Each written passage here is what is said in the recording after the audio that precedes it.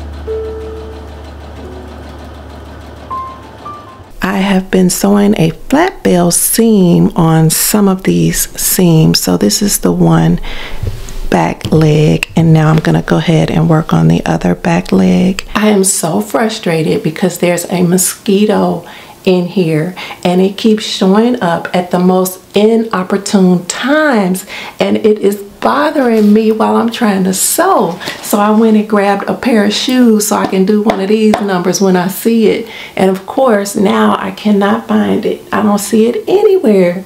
But I bet as soon as I start sewing, it's gonna show up. I have the full back done with the back yokes added up here at the top. Now I'm going to attach the back of the shorts to the front of the shorts through the middle seam, the inseam. And then after that, I will be able to sew the crotch seam together.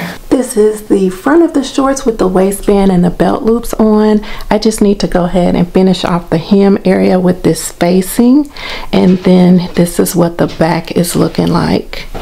So I'm almost done. And if you don't want to put the facing on, you can just hem the shorts from this point and be finished. I'm pinning one front facing to one back facing and then stitching on the sides and then this will go around the bottom of one leg and then this will be the bottom of the other leg. The whole time I've been sewing the shorts, I thought that the facing was going to hang out and actually be an extended hem, but it's supposed to go all the way inside and then you stitch it down. So it's going to be tucked inside, which makes sense because that's what facings do. And I don't know why it did not dawn on me until now. So I guess if you want it or if I wanted to, I could just hem it up and let it extend a little bit. But now I don't know. Maybe I will go ahead and just sew it down from the inside. Or I might just try it on and then figure it out. But the whole intent on the pattern is for it to be tucked inside. I think what I'm gonna do is just hem here at this area instead of tucking it under.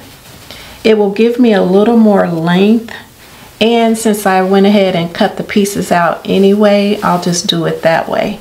I think I will like it better with the extension hanging out just because it gives me another color and like I said, it gives me a little more length too. So I think that's what I'm gonna do. And then if I don't like it, I guess I can always take it off later. But for now, I'm gonna go ahead and add the other one. And like I said, instead of tucking it in, I'm gonna leave it out. So that's how it's gonna be.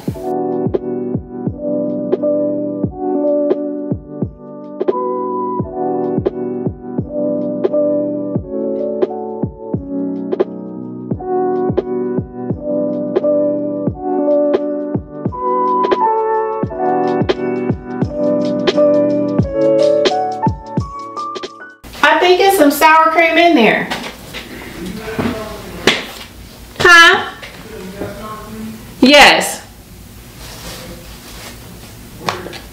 It should be in the back of the refrigerator. So I just made this hat with some of the scraps that I had left over. It is Simplicity 9509 and I didn't make it like it was supposed to be made. Like this brim was supposed to be two layers. I just used one layer. I wanted to see if I would like the hat. So I actually kind of like it, but then I'm kind of on the fence about whether I really will wear it. And this was supposed to be uh, interfaced, I believe. I think it was supposed to be lined and interfaced. So yeah, this is the result. At least I know what it looks like if I decide to make it for real. Dinner today is chicken fajitas. I made this earlier and I put it in the refrigerator so it's cold. But my husband was asking for the sour cream so he can go ahead and heat it up and eat.